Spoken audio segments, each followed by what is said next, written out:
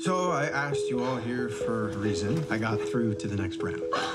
Next round of what? The Mission Mars space program. It's a one-way journey, so I wanted to tell you all as soon as I knew for sure. I'm going to Mars to write mankind's next chapter. This is where I'll work, explore, pioneer, and die.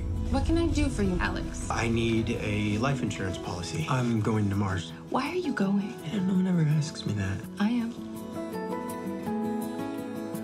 Any plans tonight? I'm studying the composition of Martian dirt. Wow, this is beautiful. oh, I think I hear your father. Well, no, I, I'm actually heading somewhere right now. Ah. I, am late for something. You, you could come. Okay, yeah, yeah. Great. You know, can't run this place much longer. I was thinking I'd sign it over to you. I'm going to Mars. You're not actually going, Alex. I am going. But I'm giving this to you. I don't want it. I looked into your mission, And and it's a bunch of ifs and maybes. it's a risk. It's giving up.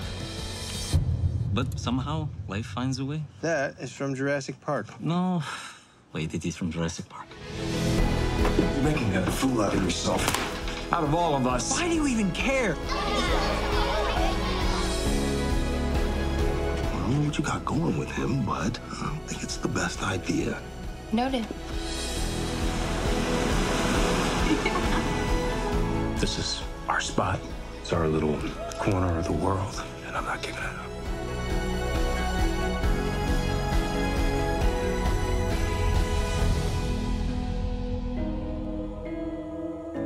How could you think about giving all this up?